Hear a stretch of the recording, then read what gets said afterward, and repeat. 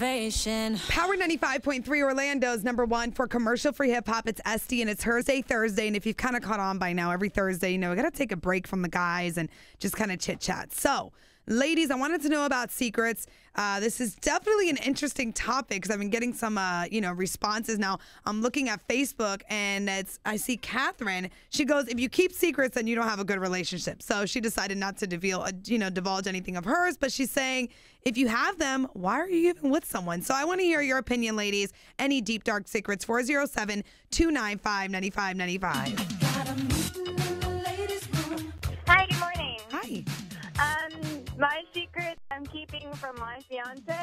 Mhm. It's it's kind of like a, a blackmailing type thing.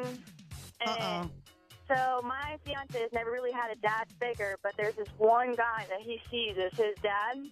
So it's not really his dad, but my secret would be that I'm sleeping with him. You're kidding. No. Oh my gosh. Uh, I'm uh, sorry, I'm in shock. So, are you trying to stop sleeping with the guy and then marry him? Are you still going to stay sleeping with him? What is your plan? My plan right now, like me and my fiance are having some real big issues and everything, because I caught him cheating on me. See, like he ah. hasn't he hasn't caught me with his quote unquote father figure, and I ah. caught him cheating. So we're having some problems right now. But my plan is to break it off with my fiance and get with his quote unquote father figure. Wow, so you're going to go public and get with this? Oh my gosh, you sorry. I'm like you blowed my mind. I appreciate you calling in and having the guts to share that with me. I really do. And I'm dying to hear how this turns out. Just keep me posted. Okay. It's a ladies room. Good morning, Ashley.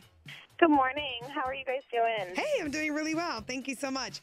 I wanted to know about the secrets, like something that you've been withholding from your guy. So we've been together seven years since I was 17, and um, back when we first started dating, it was maybe like in the first five months. Mhm. Um, we had unfortunately had unprotected sex, and so um, I basically aborted a pregnancy um, early on.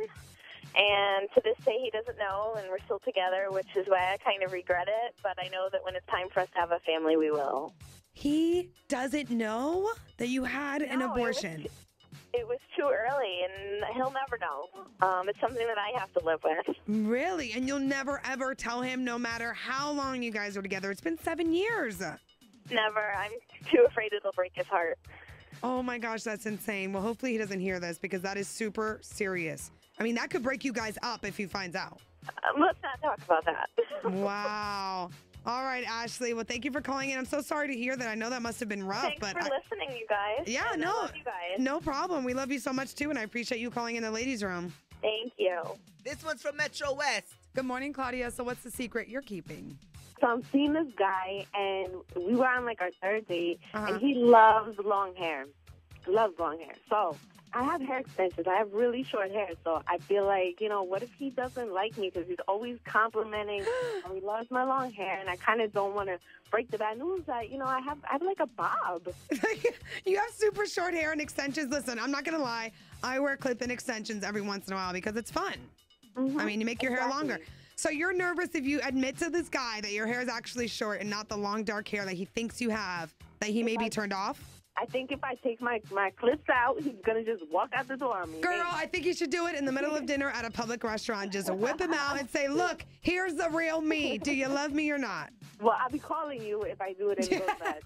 Okay, cool. Yeah, let me know. But I would just say rip out the extensions and admit to him that your hair is fake. All right. Okay.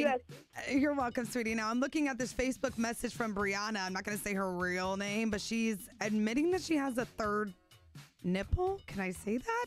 Sorry, I'm reading it here. But after a few dates with her guy, they haven't hit second base yet.